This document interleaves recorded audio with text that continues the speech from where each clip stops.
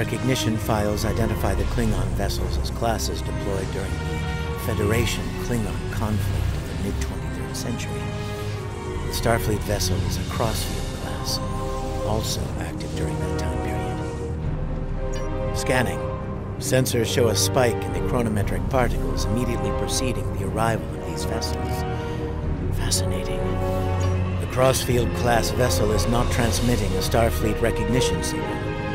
Sensor analysis confirmed. It is the ISS Discovery from the Terran Empire the so-called Mirror Universe.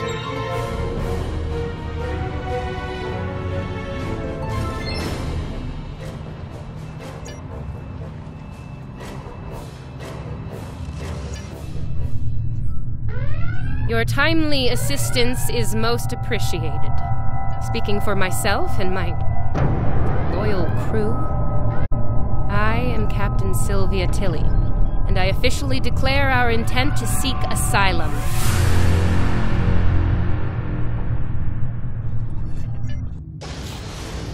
You'll have to forgive me for staring.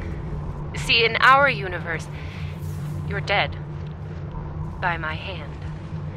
I'm afraid we didn't see eye to eye on who should take command after the Klingons killed Captain Schaefer.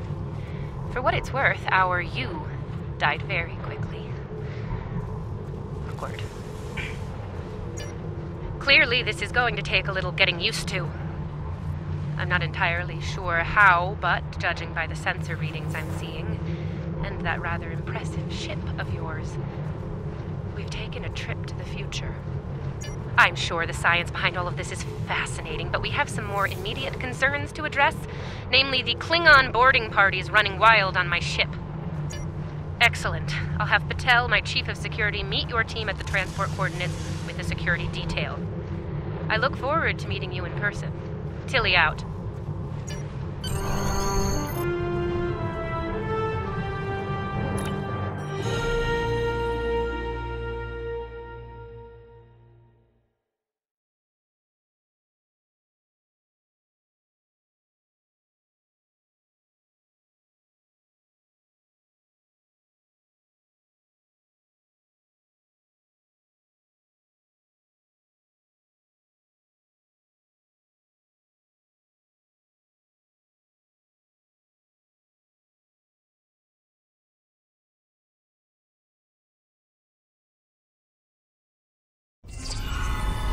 Sensors indicate numerous life signs in your vicinity, reading multiple high energy discharges as well.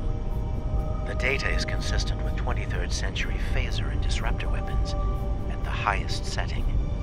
Proceed with caution. In the heat of battle, you could be seen as an enemy by anyone you encounter there.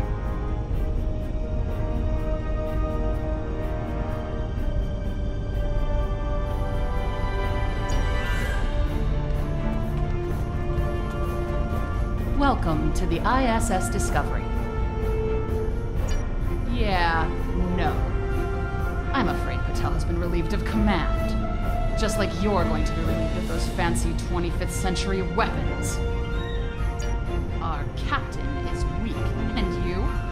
You're a fool. The Terran Empire tolerates neither. Some would call this mutiny. Any captain willing to conspire with Federation trash is no captain of ours. Now hand over those weapons, or we'll pick them off your corpses. The choice is yours.